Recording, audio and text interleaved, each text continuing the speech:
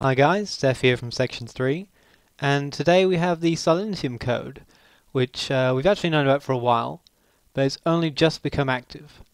Now when you unlock this you'll get 20,000 experience points and you will unlock a mysterious video but I believe the video will actually be turned into something meaningful within the next few hours or so. So uh, enjoy the code, we have a 3 dot in progress so don't forget to subscribe and we'll get you up to date on that code as soon as we can.